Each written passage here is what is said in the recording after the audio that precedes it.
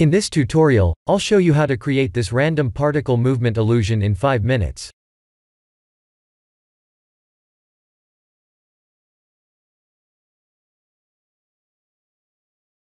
Let's import a SVG file.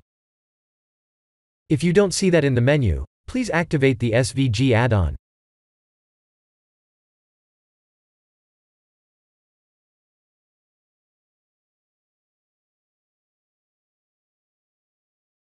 I'll select the SVG shapes and center them properly. We need to move the origin to the 3D cursor as well. Ctrl J to join them.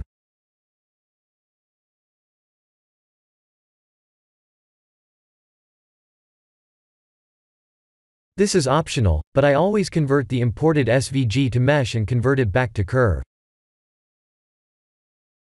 I found I get a way more cleaner curve result that way, especially when I'm converting it to mesh again in order to fill the mesh.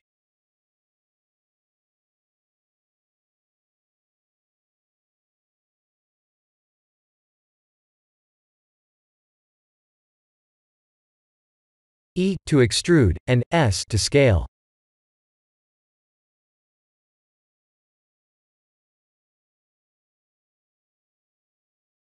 The idea is to detach the top face, and use it as the particle emitter.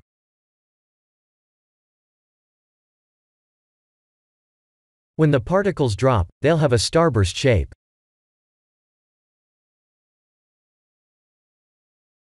P to separate by selection.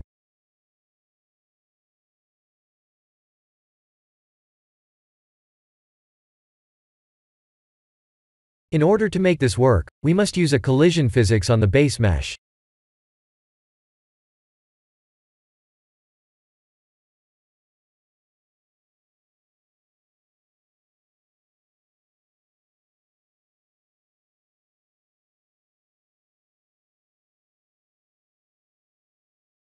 This was my final mesh.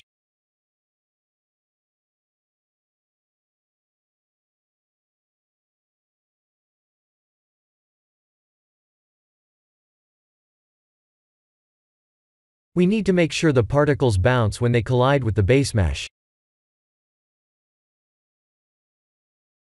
Here are my collision physics settings for the base mesh.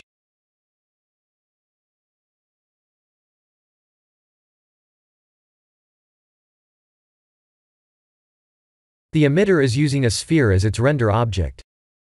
The sphere has three rings and three segments. I'm using the usual random color emission shader.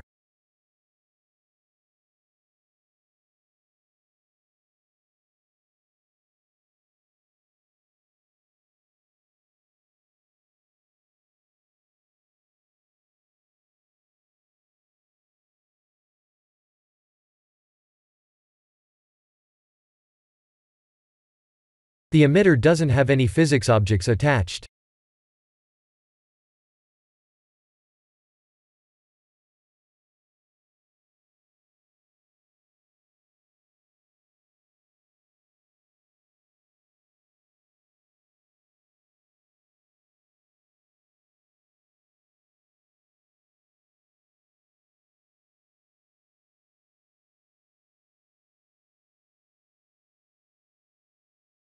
The random movement illusion occurs, because the particle objects are bouncing within a starburst-shaped mesh.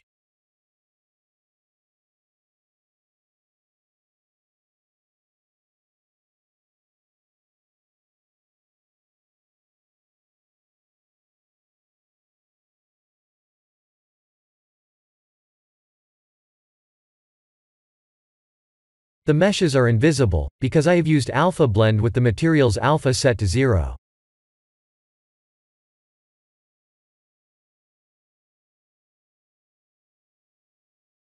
By the way, I'm using Eevee with Bloom.